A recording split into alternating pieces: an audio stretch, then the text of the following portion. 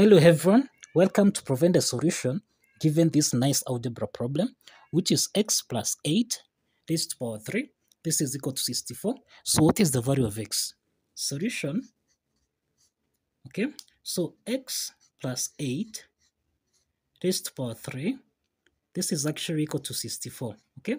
So let's take 64 on the left hand side so that we'll have x plus 8 to power 3 subtract 64 this is equal to to 0 okay? So we can express 64 basically as 4 to power 3 okay? So we'll have x plus 8 raised to power 3 subtract 4 to power 3 this is equal to to 0 all right? Now actually x plus 8 to power 3 minus 4 cubed, this is actually the difference of cubes expressed as 8 to power 3 minus b to power 3, which you can express as a minus b, a squared plus ab plus b squared. Applying this identity, that means that in this case, a is equal to x plus 8 and b is equal to 4.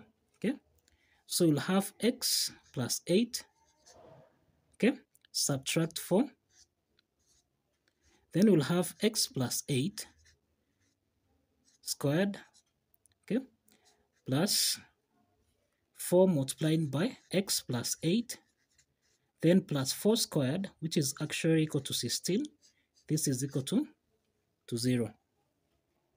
Now from what we have here, this is x plus 4, okay? 8 minus 4, this is 4. And then x plus 8 squared, okay? This is the same thing as x squared plus 16x plus 8 squared, which is actually 64, plus 4 times x, which is basically 4x, plus 4 times 8, which is basically 32, plus 16, this is equal to 0. Okay, so let's proceed.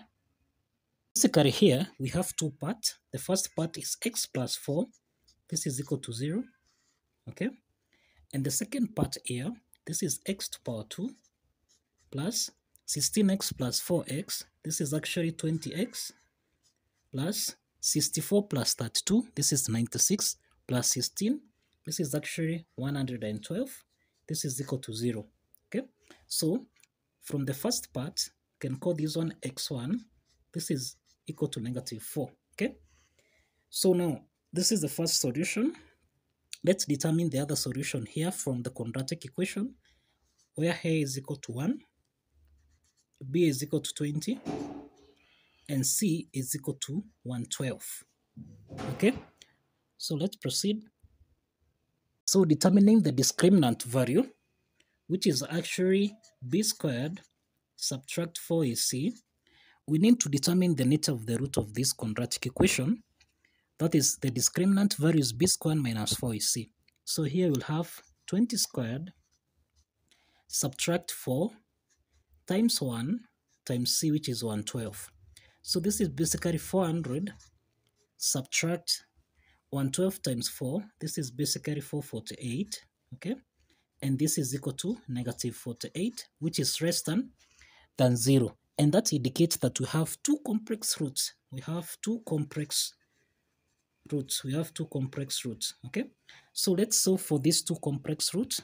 That is x2 and x3, which we can apply the quadratic formula, that is negative b plus or minus the square root of b squared minus 4 is c divided by by 2a okay and that means that substituting the value of a b and c this is actually uh, equal to negative 20 plus or minus b squared minus 4ac divided by 2a okay so in this case we have negative 20 plus or minus b squared minus 4ac this is negative 48. So substitute negative 48 divided by 2.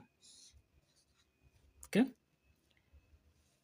So here we'll have negative 20 plus or minus, we can express negative 48 as 16 multiplied by 3 multiplied by negative 1 all this divided by 2 okay? So let's proceed. So negative 48 can be expressed as 16 times 3 times negative 1 so that means this is negative 20 plus or minus square root of 16 this is 4 okay?